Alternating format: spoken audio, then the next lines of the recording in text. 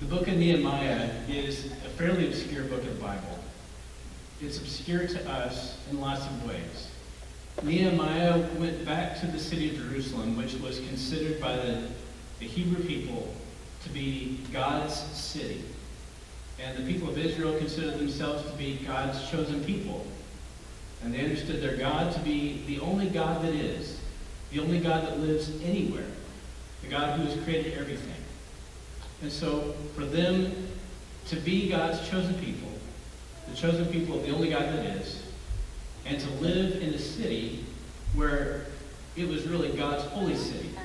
And within that city was a place where God would reside on earth in the temple. This city of Jerusalem was an important one. But Jeremiah goes back to Jerusalem during a time when the people of Israel are defeated. Their faces are always to the ground because of their shame and sadness and difficulty in life. And the city of Jerusalem, God's holy city, is in complete disrepair. And Jeremiah, without telling anyone, goes back to, to Jerusalem because God has given him a special vision for what he can do and for what he can help Israel and the people of Jerusalem to become. And so Nehemiah goes back to renew the place in which the people of Israel call their home, their capital, their central city. This month, the message series has been titled Renewing. The idea behind the message series is that God is working to renew you and me. Today I want to talk about how one of the ways God renews us through faith in Jesus Christ is by repairing us. The scripture talks about a kind of physical repair work that's going to be done. What Jeremiah finds with what Nehemiah finds when he gets back to Jerusalem is that the wall that surrounded the city is destroyed. That it's been overrun by enemies who now control them. That the city gates have been burned down. And Nehemiah says to himself that it's time to fix this symbol of strength, of pride, of being the place where God's people reside. And so he begins to survey the wall. And Nehemiah does this at night so no one will know he's there. He takes just a few trusted friends. It's not a big entourage of horses or donkeys riding around. It's just Nehemiah on a single ride by himself with a few others. And they look at everything. And Nehemiah discovers that the people of Jerusalem have just given up. In fact, they've gotten so used to the city walls being completely destroyed, it doesn't even bother them anymore. In fact, it's comforting to them to see what they know, what they're used to. So Nehemiah begins to plan, to change something for the better. And he knows that there are people who are powerful people in Jerusalem who don't want to see anything change. Maybe some are afraid of the change. They're afraid that the Persian Empire will be offended if the city gets rebuilt. Others are afraid that if they build a structure that represents the power of God, that they'll lose power. Still others are just afraid of the cost and of the possibility of failing. In any case, the rest of the story is that Nehemiah gathers together some faithful folks, and they work very rapidly to rebuild the city walls. Now, sometimes when we hear about building walls, we think about today. This is a different era that Nehemiah is speaking about. It's a different kind of situation where the city of Jerusalem had no clear sense of who it was. It had forgotten how important it was to the faith of the Hebrew people. So building the city started with the walls. Nehemiah was repairing something, believing that even though there were many who resisted what God wanted to do, Nehemiah believed it was crucial to start repairing things. Today I want to talk about how I think God works in you and me as we're being renewed in faith to be repaired. And that God has a plan for us as individuals, as families, and as a church to experience repairs that point us in the right direction of renewal. A spiritual renewal that changes us little by little, day by day, in order for us to become the people we're meant to be. Maybe you'll want to follow along with me during the message time, there are several ways you can, or a couple ways you can do that. I hope you'll grab the bulletin if you'd like to and follow along. The first idea I've got this morning, as I think about the scripture, is that some repairs, uh, some repair needs are, are easy to see. Some repairs that we have are very easy for us to see, and it's obvious. You know, maybe like this. Like, have you seen a car like this on the side of the road? I mean, you can all tell what's wrong with this car, right? What is wrong with the car? What does it need? The car needs a tire, right? And almost none of you are mechanics. I'm impressed with your ability to immediately recognize a need there. I see a car like this on the side of the road all the time, and I think to myself, someone needs to go fix that car. That car cannot do what it's going to do if it doesn't have a tire. I mean, I'm no mechanic, but I know that. Sometimes we're like that too. We have obvious things that need to be fixed.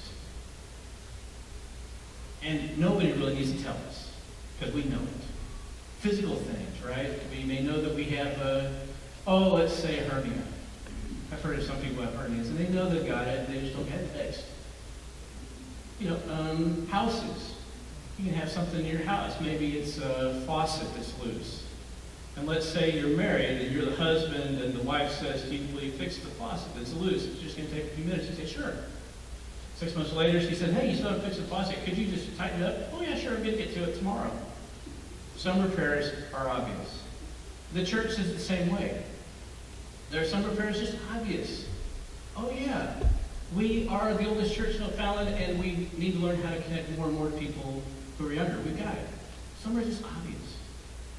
Not all repairs are this obvious, though. Next idea I have is this, that other needed repairs are hidden from plain sight. Other repairs are hidden from plain sight. So Nehemiah, he can see the obvious repair. The walls of the city of Jerusalem are torn down. Obvious repairs. The problem is not the wall, it's the people who are living in the city of Jerusalem. It's the people of faith, the people of Israel, who have chosen to leave the holy city of God in disrepair. What's the problem? There are people living there. There is a faith that says this is the only God that is, who loves us, who resides in this city, and yet we're not going to take care of our life. What's the problem? Some things are hidden from plain sight. Maybe you have a car like this one, and you look inside it and you realize, oh my gosh, something's wrong. Someone called me the other day and said, I, I can't meet you because my car battery doesn't work. I drove to work and everything was fine. Came out from work, car won't start. Called AAA, turned out it's the battery. I can't meet you there. Gave no warning at all. Person's looking at the car wondering what is wrong with it, had to call someone else to help them fix it. You know, some things that need to be repaired are hidden from plain sight. Nehemiah had to figure out not just what was obviously wrong, the wall around Jerusalem, what was going on in the hearts of the people of Israel that had given up, that had forgotten about God, that believed that there was nothing that they could do to fix the problems of their city, which was really an example of the deeper needs that are within them. Some problems are hidden from plain sight. So what do we do? As individuals, what do we do when there are things we don't recognize? Our faith talks to us about both the obvious things that need to be repaired in our lives and the hidden things we don't always see. The next idea is that God sees spiritual damage that we often ignore or fail to identify. God sees the damage of the unfixed repairs, those repairs that are needed, that we either don't deal with or don't notice. In fact, Christian faith is all about us learning little by little how to become the people we're meant to be. In the first service today, I got the great privilege to baptize a seven-month-old boy. His parents, uh, the dad is the great-grandson of one of our longtime members here. And I, I asked the dad to just talk to me about the baptism. I said, so why, why are you wanting to get your son baptized? You, you're not a member right? No, I'm not a member. You don't, I mean, where you, in Wentzville, so you don't live real close. No? I mean, I understand the grandfather connection, your parents having some connection to Cornerstone, but why now? You know what he said to me? He said to me, when my son was born, I realized that I had no connection to God. And I thought there's got to be more to this life. It's funny how having a child can suddenly give us some perspective. Or we can begin to identify, maybe, if you want to, instead of calling it damage, maybe spiritual needs. But then there's also stuff we don't really see. And so he said to me, you know, I, I didn't know what to do. So I started, he didn't say praying, but he was kind of praying what to do. Was here for Easter, and he said, we knew, his wife and he knew, they needed to baptize their son so they could begin to teach him what it meant to be a Christian, who God is. Interesting to see how we can be a part of their life how we can support them, how they can be a part of us.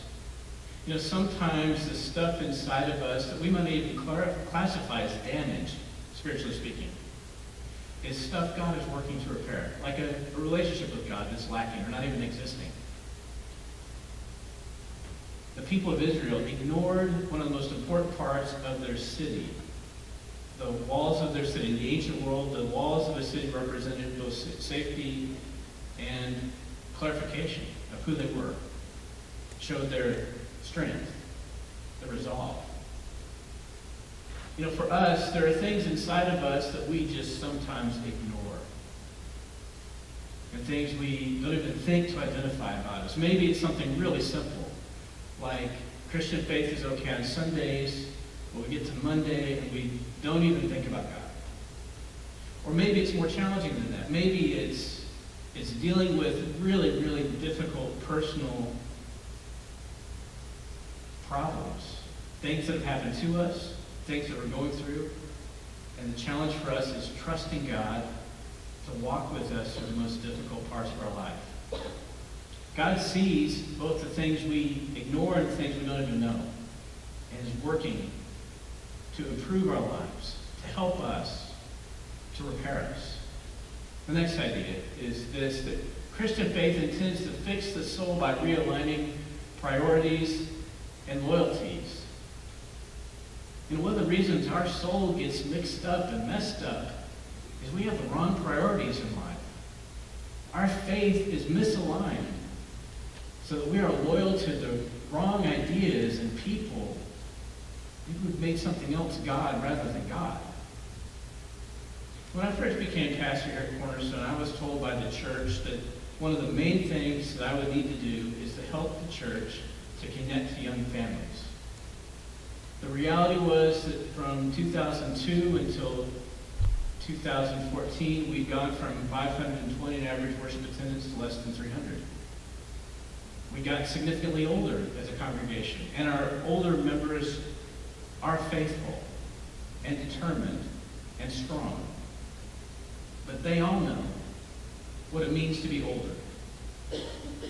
And there is this dream that this 210-year-old church will be a church that is vibrant and alive and relevant to the great-grandchildren of our oldest members here.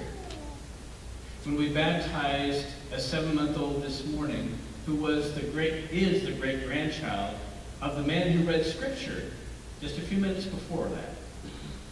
It was a symbol for us of God having work that is being done in us, that God has vision for us, that God is working to help us realign our priorities, remind us of our loyalties to God and the work God has for us. God's not done with us. You know, maybe in your life there are things God is working to fix within you. And what it's going to require is you realigning what's most important to you. And you being willing to say to God, I will be more loyal to you and your son's teachings than anything else. I heard someone recently say to me that they believe some of the largest churches in St. Louis are getting larger because they're preaching the gospel that if we turn to Jesus and receive Jesus' forgiveness, we will have an abundant life. Meaning we will be blessed in ways we can see in our bank account. I think there's this craving to connect God and faith in Christ to ways we can profit from this faith. The truth is that sometimes we don't get rich because we're Christians. It's not in the ways that are measured by a bank account. But there is a more eternal work God is doing to walk with us every day, to change our relationships for the better, to help us see that our lives can matter, and that we make a difference, not just in the lives of our family, but then the lives of people in the community.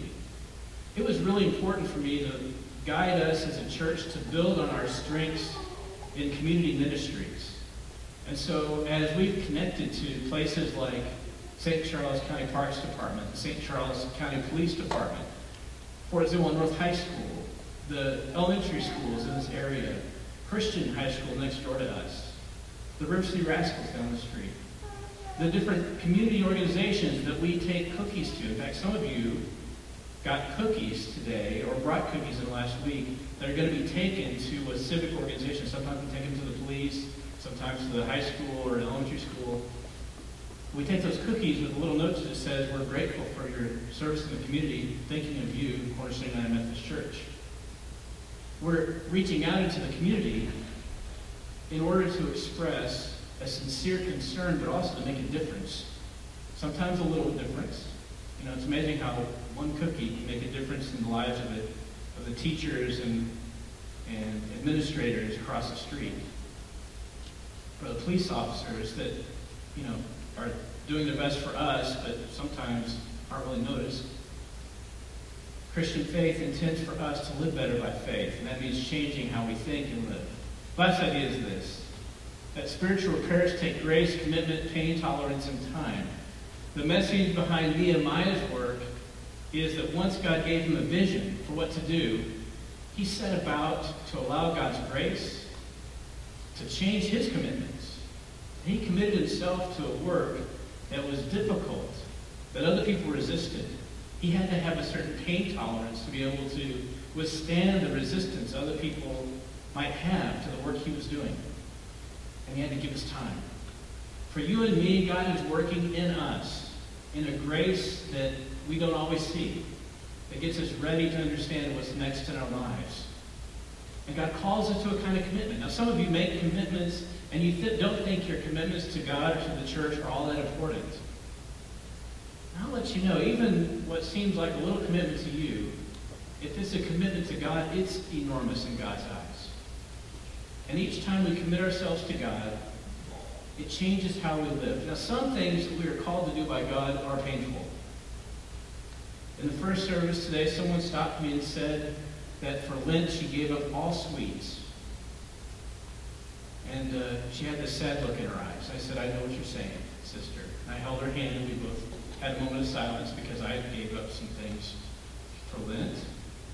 Um, someone gave me some cookies before the second service because they're worried about that commitment I made to give up cookies for Lent.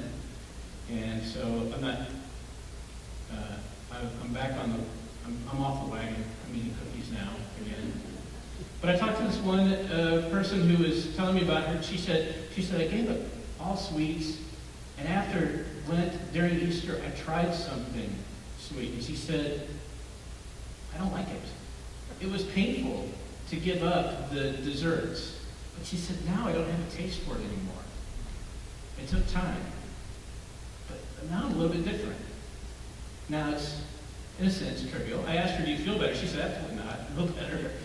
So no different now than before, but she knows in her mind, for her it's good. What kinds of things is God working in you and me to do? What kinds of things is God calling us as a church to do that will be painful, that will cause us to change, that we need to give time to, but that in the end, we are repaired, renewed, able to do ministry both personally and as a church for the next decade or two decades or three decades. I'm convinced that just like Nehemiah, you and I are being inspired by God to see a vision for our lives, for our families, for our community, and for our church that may need some repair work, but in the end will renew us. Prayer for you and me is that we'll say yes to whatever God wants us to do. And we'll let God do that work. that's so necessary for us. We pray with you. Help us, God, to let you into our lives, to not resist you, but to allow you to repair us. In Christ's name, amen.